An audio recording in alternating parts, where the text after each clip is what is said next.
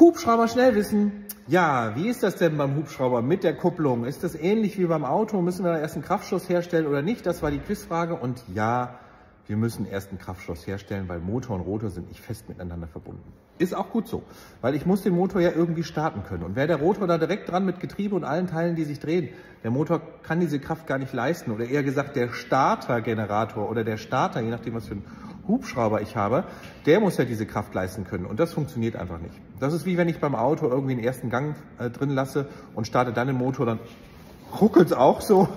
es tut weder dem Getriebe noch dem Motor noch irgendwelchen Wellen noch sonst irgendjemandem gut. Also von daher hat man auch da eine Kupplung. So, und wir haben diese Kupplung auch. Ich rede jetzt mal von der R44 vom Kolbenmotor. Das heißt, wir haben hier den Kolbenmotor und äh, alles andere, was sich dreht, voneinander getrennt. Jedenfalls, solange er jetzt hier am Boden steht. Das heißt, ich habe den Motor, muss man sich vorstellen, in einer Ebene. Da kommt hinten, ich sage es jetzt mal ganz banal, einfach wie so eine Welle raus. Da ist ein Riemenrad dran und dann habe ich hier oben die andere Welle, die zwischen Heckrotor und Hauptgetriebe hin und her läuft. Da ist auch ein Riemenrad drauf und zwischen diesen beiden Riemenrädern sind vier Riemen gespannt oder eben nicht gespannt, je nachdem. Da sind auf jeden Fall vier Riemen. So, und jetzt, so wie er hier steht, sind die Riemen nicht gespannt. Die Riemen findet man hier hinten drin. Da, da sind die vier Riemen. Das ist leider ein bisschen schwierig zu sehen. Das ist nämlich stockeduster. Ähm, da sind diese vier Riemen, ist aber spielt auch keine Rolle. Man muss sich ja einfach nur vorstellen. Und wenn ich jetzt sage, pass mal auf, ich starte jetzt den Motor draußen auf meinem Helipad, dann läuft er, dann soll er eine stabile Drehzahl erreichen. Und wenn er die erreicht hat, dann lege ich einen Kupplungsschalter um. Dann leuchtet auch vorne ein Lämpchen. Das heißt hier, Achtung, die Kupplung fährt gerade. Kann ja auch sein, dass er sich auskuppelt ne, im Flug. Deswegen, äh, wenn ich den Schalter dann umlegen würde, macht man aber nicht, weil keiner greift absichtlich dahin und das ist nochmal extra gesichert. Also man müsste es wirklich absichtlich machen. Aus Versehen geht sowas nicht. Das ist extra so gemacht, dass es nicht aus Versehen geht. Naja, und hier am Boden auf jeden Fall lege ich den Schalter um und dann fangen an, sich diese Riemen zu spannen. Das quietscht dann manchmal auch so ein bisschen, ne, weil einfach diese Riemen, bis sie die Spannung haben und dann manchmal nochmal einen kurzen Moment rutschen und das ist dann dieses Quietschen, was man manchmal eben dabei hört. Und wenn dann der Kraftschluss hergestellt ist zwischen Motor und Rotor, dann läuft das ganze System. Dann geht mein Kupplungslichtchen vorne aus und dann weiß ich, okay, eingekuppelt, wunderbar. Und dann kann ich die Drehzahl ein bisschen erhöhen und dann später eben auf 100 Prozent hochfahren, wenn ich alle Teste gemacht habe und der Motor eben warm ist.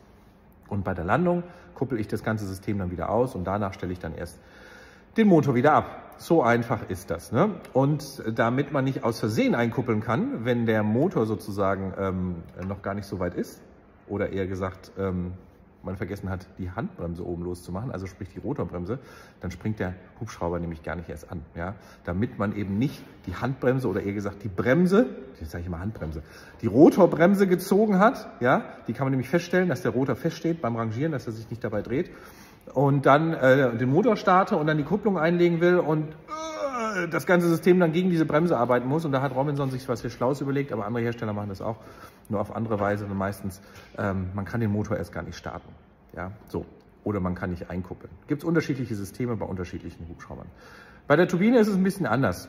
Oder eher gesagt, da ist er auch nicht direkt dran. Aber da gibt es dann zwei Wellen innerhalb der Turbine. Ne? Das ist ein Zwei-Wellen-Triebwerk. Das heißt, ich habe vorne eine Welle im Triebwerk, die völlig unabhängig ist von dem System Rotor, Heckrotor, Getriebe und so weiter, die einfach nur dazu da ist, den Kompressor anzutreiben. Und dann habe ich hinten eine zweite Welle, die an der Arbeitsturbine sitzt, die nur dazu da ist, die Kraft aufzunehmen und nach vorne zum Getriebe zu schicken.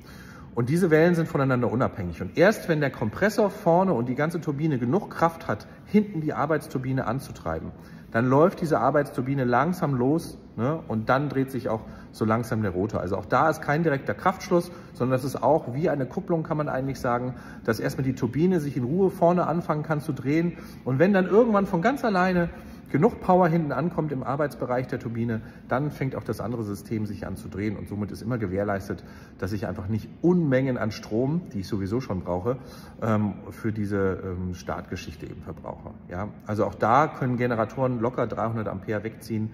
Ähm, und wenn man dann jetzt noch überlegt, dann müssen wir den ganzen Rest auch noch mit antreiben. Dann brauchen wir auch gar keine Batterie mehr, dann brauchen wir immer ein Stromkabel, um irgendwo zu starten. So, wenn dazu noch Fragen sind, gerne unten in die Kommentare, dann schreibe ich auch gerne eine Antwort dazu. Vielen Dank.